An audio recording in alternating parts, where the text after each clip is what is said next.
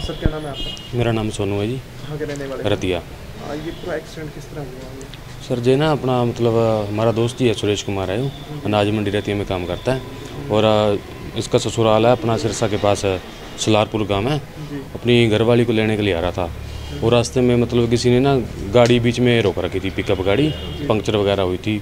उसका ना तो कोई इंडिकेटर वगैरह था ना कोई रिफ्लेक्टर वगैरह था उसमें भिड़ गई गाड़ी। किस कौन सी गाड़ी में आ रहा था सर? रिटी जी गाड़ी थी सर। कितने बजे वहाँ से निकला था लगभग लगभग सात बजे। हादसा कितने बजे ऐसे लगा लो पौने आठ आठ बजे हो गया था। कहाँ पर हुआ ये हादसा? ये सर अपना मोरियाला गाँव के पास। हाँ जी हाँ जी। तो सुरेश की डेथ हुई है हाँ उसी साथ के साथ ही डेथ हो गई थी। सुरेश के परिवार में सर कौन कौन था? सुरेश के परिवार में उसका बड़ा भाई है सर।